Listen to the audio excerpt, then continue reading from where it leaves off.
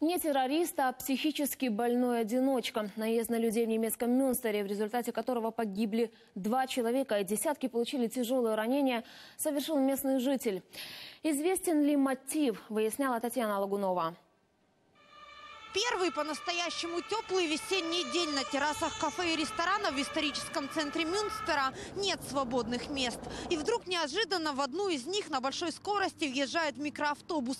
Вот одно из первых фото с места трагедии. Перепуганные посетители, разбросанные столы и стулья и сама машина. Водитель спустя несколько секунд после наезда покончил с собой.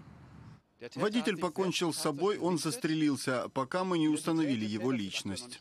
Похоже на теракт сразу же сообщили немецкие СМИ, но позже выяснилось, наезд совершил житель Мюнстера немец Йенс Р., дизайнер по профессии. Он страдал серьезным психическим расстройством. Микроавтобус принадлежал ему, а сам он жил в нескольких километрах от места трагедии.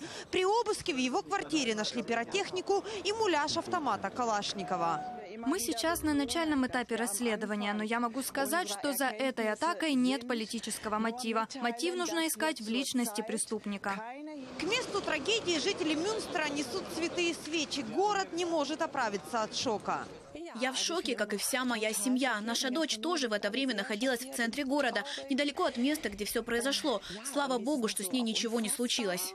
Люди приходят и в больницы Мюнстера сдать кровь для пострадавших. Ранения и травмы получили более 20 человек. Шестеро из них в критическом состоянии. Какой мотив этот вопрос до сих пор остается без ответа. Соседи мужчины рассказывают, что он жил как отшельник, и они видели его от силы пару раз в год. Знакомые, что он был склонен к суициду и рассылал им прощальные письма. Но почему Йенс решил покончить с собой, забрав при этом жизни других, до сих пор неизвестно. Татьяна Лугунова, Вячеслав Фролов. Подробности немецкое бюро телеканала «Интер».